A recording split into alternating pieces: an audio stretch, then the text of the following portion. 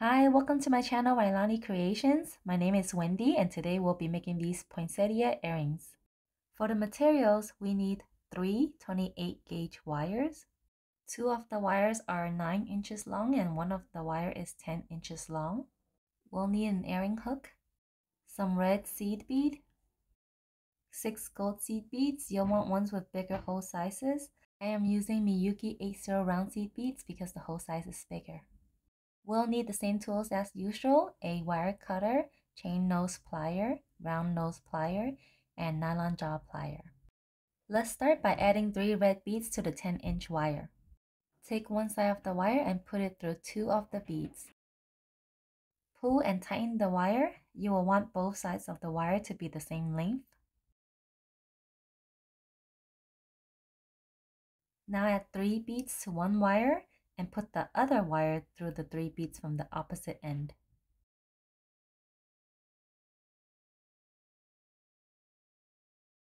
Now add 4 beads to one wire and put the other wire through the 4 beads from the opposite end.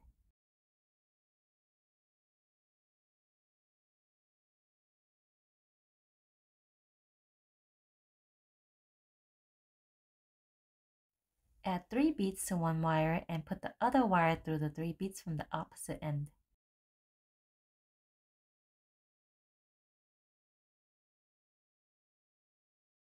Next, we will pull the two wires to the middle and twist it slightly.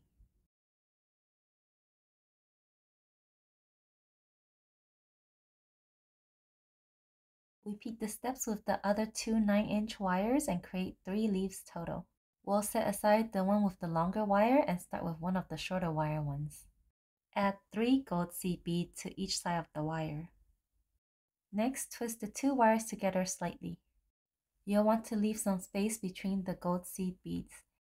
You can do so by using a round nose plier to form a circle with the gold beads.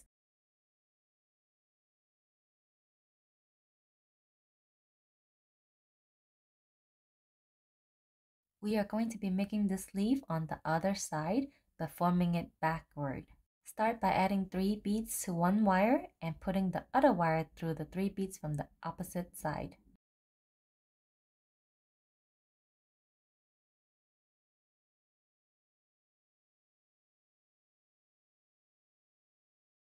Next, repeat the steps by adding 4 beads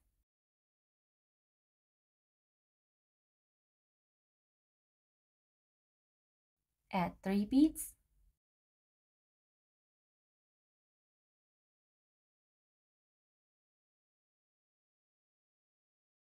add 2 beads Sometimes the beads can move towards one side. You can use a round nose plier or chain nose plier to fix it. Now add one bead and repeat the steps. The wire has gotten short and might be hard to work with. You can use a chain nose plier to pull it. Now let's hide the wires by running it through the previous rows before cutting it off.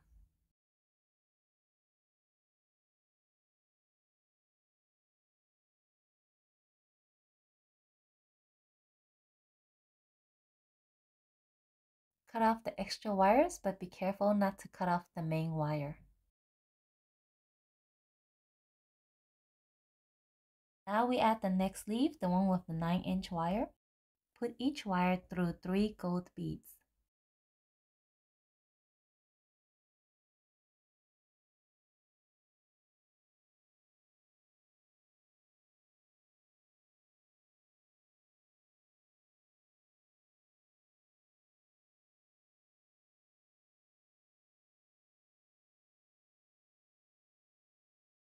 Now that we have put three gold beads through each wire, we're going to create the leaf on the opposite end by first twisting the wire slightly and creating the leaf backward.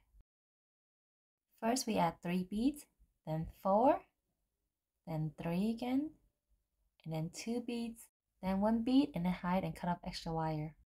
We have completed four leaves. Now we will repeat the steps to add the fifth leaf and create the sixth leaf. Look for where the gaps are between the gold beads to add the leaf in. Now we are ready to create the last leaf by twisting the wire slightly and then adding the beads in like before.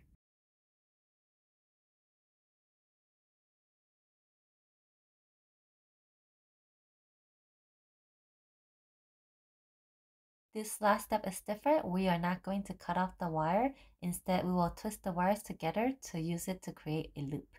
And then we'll connect the earring hook to the loop.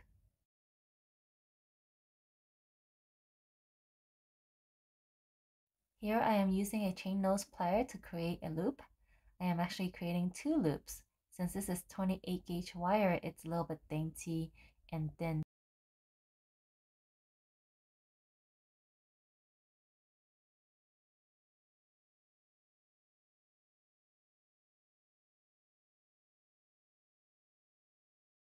I have created a closed loop and now I will cut off the extra wire with a wire cutter and then I will use a chain nose plier to flatten any wire that is sticking out.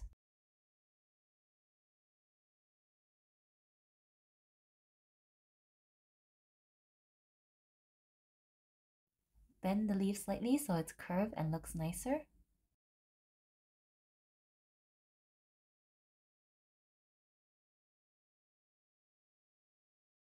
I hope you liked how these earrings turned out. If you have any questions, leave me a comment. Thank you and I'll see you next time. Bye.